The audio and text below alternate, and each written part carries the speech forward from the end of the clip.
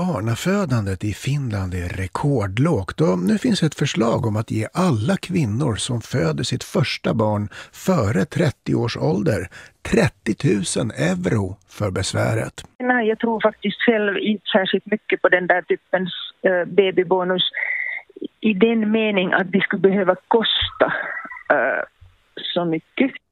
Ja, att ge kvinnor som föder sitt första barn före 30 års ålder en bonus på 30 000 euro, ungefär 300 000 kronor, det skulle bli kostsamt. Det tycker även forskaren bakom förslaget, professor Anna Rotkirch från det finska befolkningsförbundet. Men det behövs tydliga åtgärder och mer information för att få fart på det låga barnafödandet i Finland, säger Rotkirch. Om du till exempel vill ha två barn med högsta möjliga sannolikhet eh, så borde du börja eh, försöka graviditet eh, långt före du fyller 30.